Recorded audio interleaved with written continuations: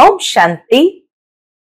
आज 21 सितंबर 2024 के बाबा के अनमोल मधुर महावाक्य सुनेंगे। आज की मुरली में बाबा कहे, बच्चे, जैसे तुमने बाप को पहचाना है, वैसे दूसरों को भी बाप का परिचय अच्छी तरह से देना है। परंतु बाबा को कई बार आश्चर्य लगता है, जब बच्चे ये कहते हैं, बाबा आपका परिचय देना बहुत मुश्किल है। बाबा कहे, जैसे तुमने जाना है, पहचाना है, वैसे ही सबको सुनाओ। कि बाप कौन है? कैसे आते हैं? किसके तन में आते हैं? और कैसे आकर ज्ञान सुनाकर सबकी सदगति करते हैं? बाबा कहे, बाबा का परिचय देना बहुत आसान है। थोड़ा सा प्रयत्न करेंगे तो अवश्य बाप का परिचय सबको दे सकेंगे। दूसरी बात बाबा ने कहा, तुमने अपने को भी जाना है।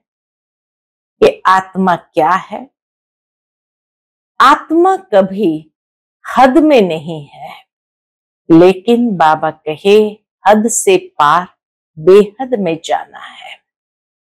तो सुनते हैं आज के बाबा के अनमोल मधुर महावाक्य। ओम शांति, मीठे बच्चे, बाप कल्प कल्प आकर। बाप कल्प कल्प आकर तुम बच्चों को अपना परिचय देते हैं। तुम्हें भी सबको बाप का यथार्थ परिचय देना है। आज की मुरली से प्रश्न है बच्चों के किस प्रश्न को सुनकर बाप भी वंडर खाते हैं? उत्तर है, बच्चे कहते हैं, बाबा, आपका परिचय देना बहुत मुश्किल है। हम आपका परिचय कैसे दे? ये प्रश्न सुनकर बाप को भी वंडर लगता है। जब तुम्हें बाप ने अपना परिचय दिया है तो तुम भी दूसरों को दे सकते हो। इसमें मुश्किलात की बात ही नहीं। यह तो बहुत सहज है। हम सब आत्माएँ निराकार है तो ज़रूर उनका बाप भी निराकार होगा। ओम शांति। मीठे मीठे रूहाने बच्चे समझते हैं, बेहद के बाप पास बैठे हैं। यह भी जानते हैं, बेहद का बाप इस रथ पर ही आते हैं। जब बाप दादा कहते हैं, यह तो जानते हैं कि शिव बाबा है और वह इस रथ पर बैठा है। अपना परिचय दे रहा है। बच्चे जानते हैं वह बाबा है। बाबा मत देते हैं। क्या मत देते हैं कि रूहानी बाप को याद करो? तो पाप भस्म हो जाए। जिसको योग अग्नि कहते हैं। बाप की याद को ही योग अग्नि कहते हैं। अभी तुम बाप को तो पहचानते हो तो ऐसे कभी थोड़ी कहेंगे कि बाप का परिचय दूसरों को कैसे दू? तुमको भी बेहद के बाप का परिचय है तो ज़रूर दे भी सकते हैं। परिचय कैसे दे, ये तो प्रश्न ही नहीं उठ सकता है। जैसे तुमने बाप को जाना है, वैसे तुम कह सकते हो कि हम आत्माओं का बाप तो एक ही है। इसमें मूंझने की दरकार ही नहीं रहती। कोई कोई कहते हैं, बाबा, आपका परिचय देना बड़ा मुश्किल होता है। अरे, बाप का परिचय देना, इसमें तो मुश्किलात की कोई बात ही नहीं है। जानवर भी इशारे से समझ जाते हैं, मैं फलाने का बच्चा हूँ। तुम भी जानते हो कि हम आत्माओं का वह बाप है। हम आत्मा अभी इस शरीर में प्रवेश है। जैसे बाबा ने समझाया है कि आत्मा अकाल मूर्त है। आत्मा को पहचानते हैं कि आत्मा अकाल मूर्त है। ऐसे नहीं, उसका कोई रूप नहीं है। बच्चों ने पहचाना है, बिल्कुल सिंपल बात है।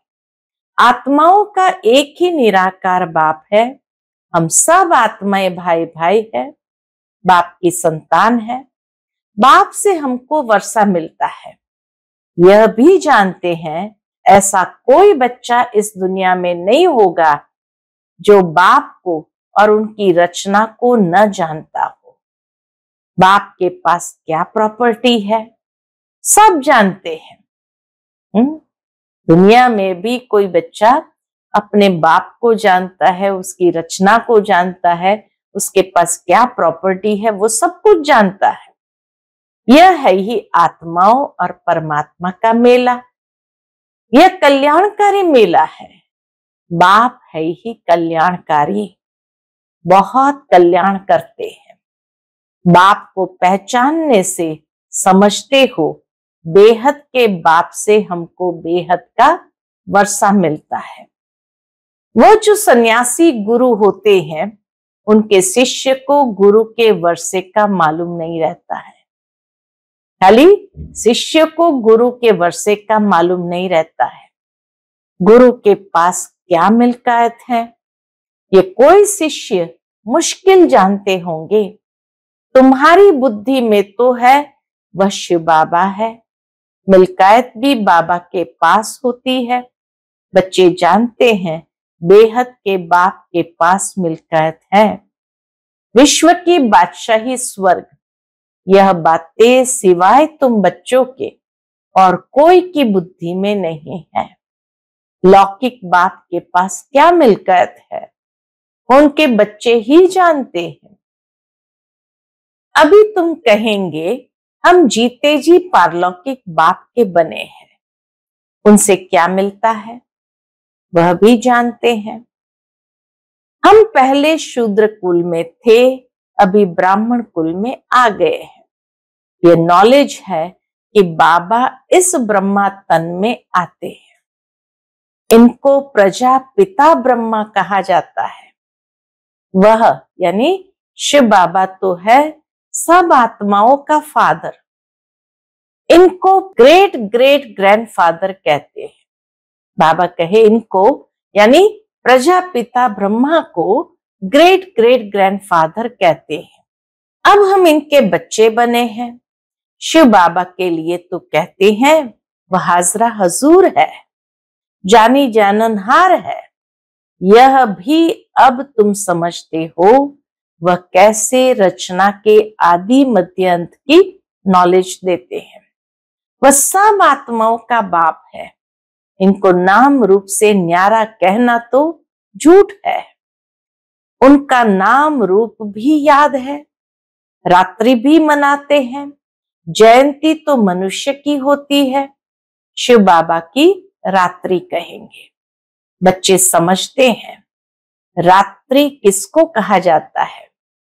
रात में घोर अंधियारा हो जाता है, अज्ञान अंधियारा है ना?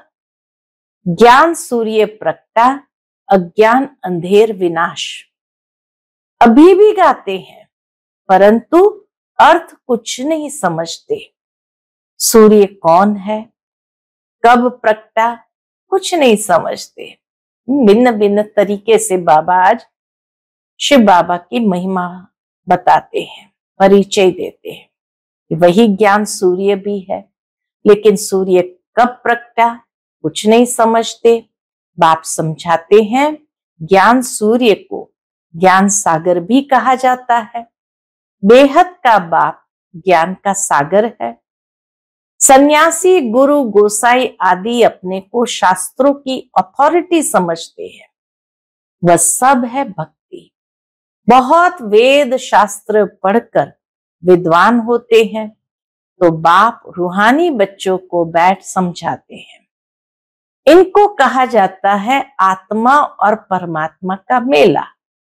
तुम समझते हो, बाप इस रथ में आए हुए हैं, इस मिलन को ही मेला कहते हैं। जब हम घर जाते हैं तो वह भी मेला है। यहाँ बाप खुद बैठ पढ़ाते हैं। वह फादर भी है टीचर भी है यह एक ही पॉइंट अच्छी रीति धारण करो, भूलो मत। बाबा कहे, ये एक ही पॉइंट अच्छी रीति धारण करो, भूलो मत। अब बाप तो है निराकार, उनको अपना शरीर नहीं है तो ज़रूर लेना पड़े। तो खुद कहते हैं, मैं प्रकृति का आधार लेता हूँ। नहीं तो बोलू कैसे? शरीर बिगर तो बोलना होता नहीं। तो बाप इस तन में आते हैं। इनका नाम रखा है ब्रह्मा। हम भी शूद्र से ब्राह्मण बने तो नाम बदलना ही चाहिए। नाम तो तुम्हारे रखे थे। वतन से बाबा ने नाम भेजे थे, सभी के नाम रखे थे। परंतु उनमें से भी अभी देखो कहीं है ही नहीं। इसलिए ब्राह्मणों की माला नहीं होती है। भक्त माला और रुद्र माला गाई हुई है। ब्राह्मणों की माला नहीं होती। विष्णु की माला तो चली आई है। सूक्ष्म वतन में विष्णु को चार भुजा वाला दिखाया है। दो भुजा लक्ष्मी की, दो भुजा नारायण की। बाप समझाते हैं, मैं धोबी हूँ। बाबा कहे, मैं धोबी हूँ। मैं योग बल से तुम आत्माओं को शुद्ध बनाता हूँ। फिर भी तुम विकार में जाकर अपना श्रृंगार ही गंवा देते हो। बाप आते हैं सबको शुद्ध बनाने। आत्माओं को आकर सिखलाते हैं। तो सिखलाने वाला ज़रूर यहाँ चाहिए ना। पुकारते भी है, आकर पावन बनाओ। कपड़ा भी मैला होता है तो उनको धोकर शुद्ध बनाया जाता है। तुम भी पुकारते हो, हे पति पावन बाबा, आकर पावन बनाओ। आत्मा पावन बने तो शरीर भी पावन मिले। तो पहली पहली मूल बात होती है, कौन सी? बाप का परिचय देना। बाप का परिचय कैसे दे? ये तो प्रश्न ही नहीं पूछ सकते हैं। तुमको भी बाप ने परिचय दिया है, तब तो तुम आए हो ना? बाप पास आते हो, बाप कहाँ है? इस रथ में, यह है अकाल तख्त। तुम आत्मा भी अकाल मूर्त हो। यह सब तुम्हारे तख्त है। ब्रुकुटी का अकाल तख्त आत्मा का जिस पर तुम आत्मा विराजमान हो, वह है अकाल तख्त जड़ हो गया ना? तुम जानते हो, मैं अकाल मूर्त, अर्थात निराकार, जिसका साकार रूप नहीं है, मैं आत्मा अविनाशी हूँ। तब विनाश हो न सके, एक शरीर छोड़ दूसरा लेता हूँ। मुझ आत्मा का पाठ अविनाशी नूंदा हुआ है। आज से पाँच हज़ार वर्ष पहले भी हमारा ऐसे ही पाठ शुरू हुआ था। वन वन संवत से हम यहाँ पाठ बजाने घर से आते हैं। जैसे ही सतयुग का संबंध वन वन होगा तो बाबा कहे, हम घर से यहाँ पाठ बजाने आते हैं। यह है ही पाँच हज़ार वर्ष का चक्र। वह तो लाखों वर्ष कह देते हैं। इसलिए थोड़े वर्षों का विचार में नहीं आता। तो बच्चे ऐसा कभी नहीं कह सकते। कौन सी बात? हम्म आज बाबा ने अंडरलाइन कराई। तो बच्चे ऐसा कभी नहीं कह सकते कि हम बाप का परिचय किसको कैसे दें। ऐसे ऐसे प्रश्न पूछते हैं तो वंडर लगता है। अरे तुम बाप के बने हो, फिर बाप का परिचय क्यों नहीं दे सकते हो? हम सब आत्माएँ हैं, वह हमारा बाबा है। सर्व की सदगति करते हैं। सदगति कब करेंगे, यह भी तुमको अभी पता पड़ा है। कल्प कल्प। कल्प के संगम युग पर आकर सर्व की सदगति करेंगे। वह तो समझते हैं। दुनिया के लोग तो समझते हैं, अभी चालीस हज़ार वर्ष पड़े हैं और पहले से ही कह देते नाम रूप से न्यारा है। अब नाम रूप से न्यारी कोई चीज़ थोड़ी होती है। पत्थर बित्तर का भी तो नाम है ना। तो बाप कहते, मीठे मीठे बच्चों, तुम आए हो बेहद बाप के पास। बाप भी जानते हैं कितने ढेर बच्चे हैं। बच्चों को अभी हद और बेहद से भी पार जाना है। हद और बेहद से भी पार जाना है। सब बच्चों को देखते हैं, जानते हैं, इन सबको मैं लेने आया हूँ। बाबा ये जानता है कि सब आत्माओं को मैं लेने आया हूँ। सतयुग में तो बहुत थोड़े होंगे। कितना क्लियर है। इसलिए चित्रों पर समझाया जाता है। नॉलेज तो बिल्कुल इजी है। बाकी मुश्किल कहाँ है? ज्ञान को समझना बड़ा आसान है। बाकी याद की यात्रा में टाइम लगता है। ऐसे बाप को कभी भूलना नहीं चाहिए। बाप कहते, माँ में कम याद करो तो पावन बन जाएँगे। मैं आता ही हूँ पतित से पावन बनाने। तुम अकाल मूर्त आत्माएँ सब अपने अपने तख्त पर विराजमान हो। बाबा ने भी इस तख्त का लोन लिया है। इस भाग्यशाली रथ में, बाबा कहे, इस भाग्यशाली रथ में बाप प्रवेश होते हैं। कोई कहते हैं, परमात्मा का नाम रूप नहीं है। ये तो हो ही नहीं सकता। बाबा कहे कहो ये तो हो ही नहीं सकता। उनको पुकारते हैं, महिमा गाते हैं तो ज़रूर कोई चीज़ तो है ना?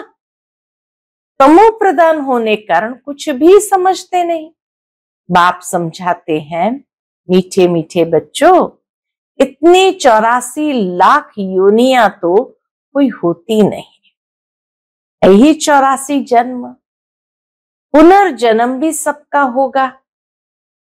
ऐसे थोड़ी ब्रह्म में जाकर लीन होंगे व मोक्ष को पाएँगे। ये तो बना बनाया ड्रामा है। एक भी कम जास्ती नहीं हो सकता। इस अनादि अविनाशी ड्रामा से ही फिर छोटे छोटे ड्रामा व नाटक बनाते हैं। इसको देख करके ही बाबा कहे छोटे छोटे नाटक व ड्रामा बनाते हैं। वह है विनाशी। अभी तुम बच्चे बेहद में खड़े हो। तुम बच्चों को ये नॉलेज मिली हुई है, हमने कैसे चौरासी जन्म लिए हैं? अभी बाप ने बताया है। आगे किसको पता नहीं था? ऋषि मुनि भी कहते थे। क्या कहते थे? हम नहीं जानते हैं, हम नहीं जानते। बाप आते ही है संगम युग पर। इस पुरानी दुनिया को चेंज करने। ब्रह्मा द्वारा नई दुनिया की स्थापना फिर से करते हैं। वह तो लाखों वर्ष कह देते हैं। कोई बात याद भी न आ सके, महाप्रलय भी कोई होती नहीं। बाप राजयोग सिखलाते हैं, फिर राजाई तुम पाते हो। इसमें तो संशय की कोई बात ही नहीं। तुम बच्चे जानते हो, पहले नंबर में सबसे प्यारा है कौन? बाबा कहे, तुम बच्चे जानते हो, पहले नंबर में सबसे प्यारा कौन है? बाप फिर नेक्स्ट प्यारा है श्री कृष्ण। सबसे पहले नंबर में प्यारा है बाप, फिर नेक्स्ट प्यारा है श्री कृष्ण। तुम जानते हो, श्री कृष्ण है स्वर्ग का पहला प्रिंस नंबर वन वही फिर चौरासी जन्म लेते हैं। उसके ही अंतिम जन्म में प्रवेश करता हूँ। अब तुमको पतित से पावन बनना है। पतित पावन बाप ही है। पानी की नदियाँ थोड़ी पावन कर सकती है। बाबा कहे, पानी की नदियाँ थोड़ी पावन कर सकती है। ये नदियाँ तो सतयुग में भी होती है। वहाँ तो पानी बहुत शुद्ध रहता है। किचड़ा आदि कुछ नहीं रहता। यहाँ तो कितना किचड़ा पड़ता रहता है।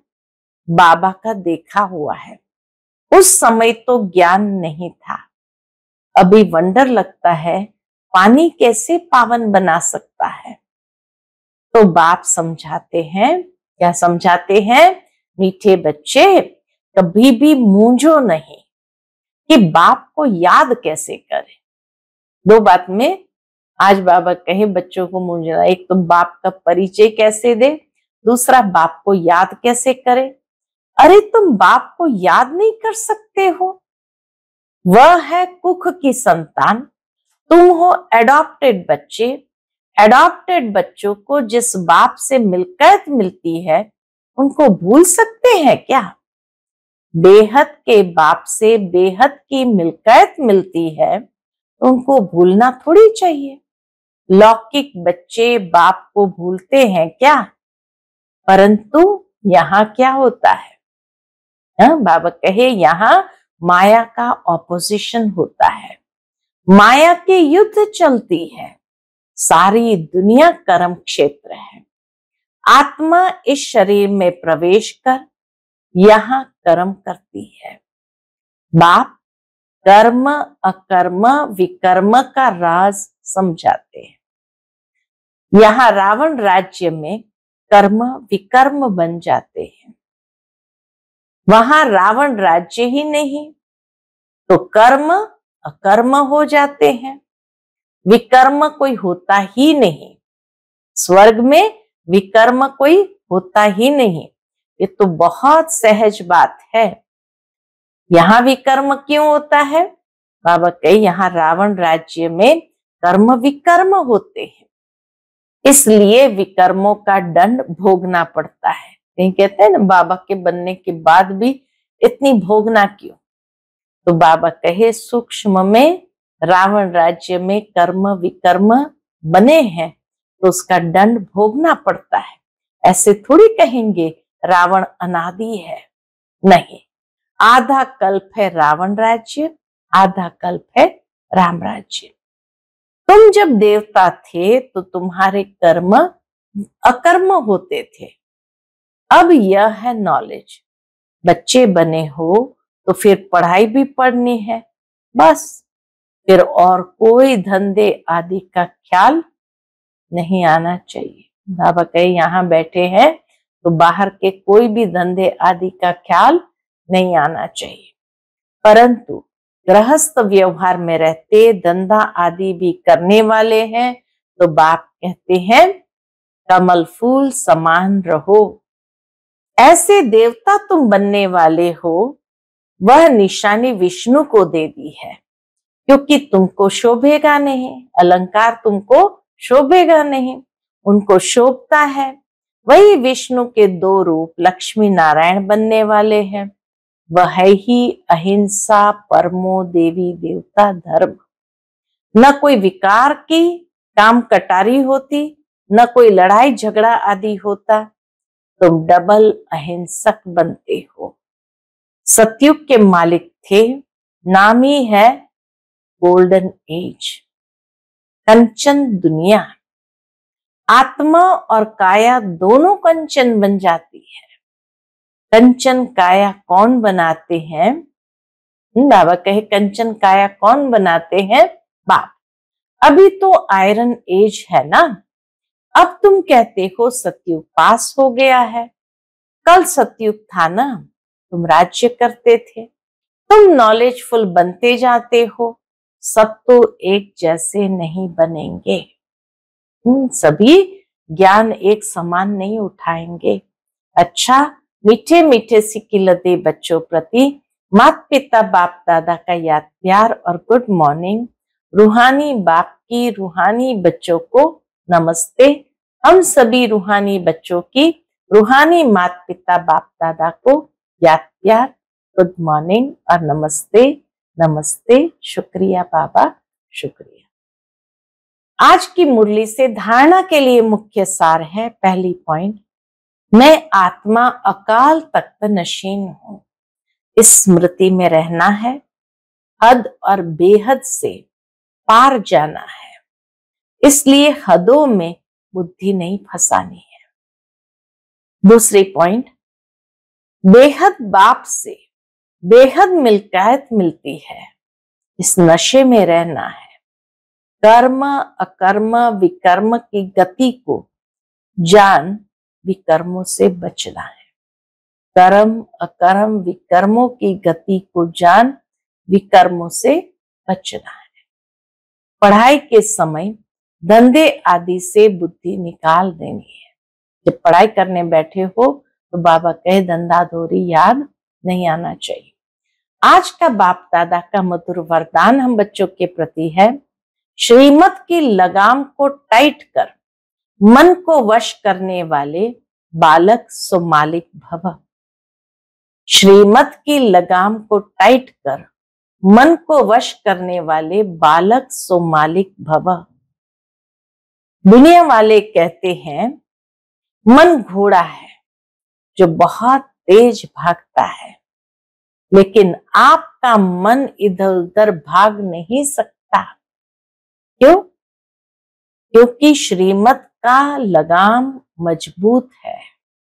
जब मन बुद्धि साइड सीन को देखने में लग जाती है तो लगाम ढीला होने से क्या होगा? लगाम ढीला होने से मन चंचल होता है। इसलिए जब भी कोई बात हो, मन चंचल हो तो श्रीमत का लगाम टाइट करो तो मंजिल पर पहुँच जाएँगे। बालक सो मालिक हूँ, इस स्मृति से अधिकारी बन, मन को अपने वश में रखो। बाबा कहे, बालक सो मालिक हूँ, इस स्मृति से अधिकारी बन, मन को अपने वश में रखो। आज का स्लोगन है, सदा निश्चय हो कि जो हो रहा है, वो भी अच्छा और जो होने वाला है, वो और भी अच्छा। तो अचल अडोल रहेंगे। अचल अडोल रहेंगे। अच्छा ओम शांति।